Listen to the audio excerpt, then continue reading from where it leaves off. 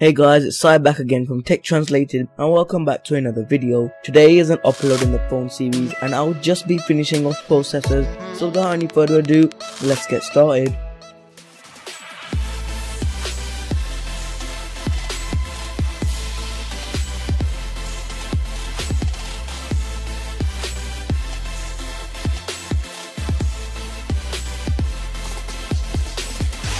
So in the last phone series video, I explained what processors were, how they work and much more, but the video was getting quite long so I've split it into two parts. This part is about RAM. It's a supporting component to the processor and really helps your device run throughout the day.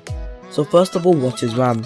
Well it stands for random access memory and when it is being used, which is pretty much all the time, it is loading applications, providing notifications and running your user data in the background. RAM is measured in bytes, but most commonly in gigabytes which equals 1 billion bytes of information. Just like storage, the more gigabytes you have, the more things you can save.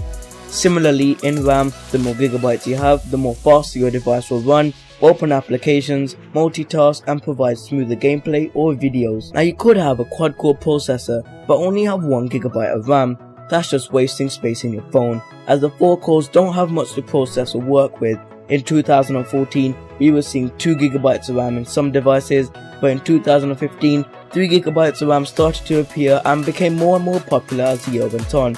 But now, in 2016, we have seen 4GB of RAM in some devices such as the OnePlus 2, Samsung Galaxy Note 5 and the Samsung Galaxy S6 Edge Plus. Ideally for a device to run smoothly, you need quite a bit of RAM and maybe more than 3 cores in the processor, but it all comes down to the software. If you have a really basic software which doesn't require much, then 1GB of RAM will be more than enough, whereas maybe something like 4GB of RAM would be overkill.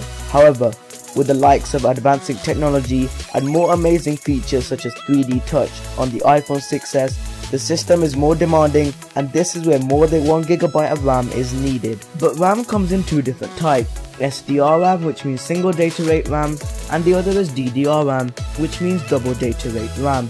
That's not all though.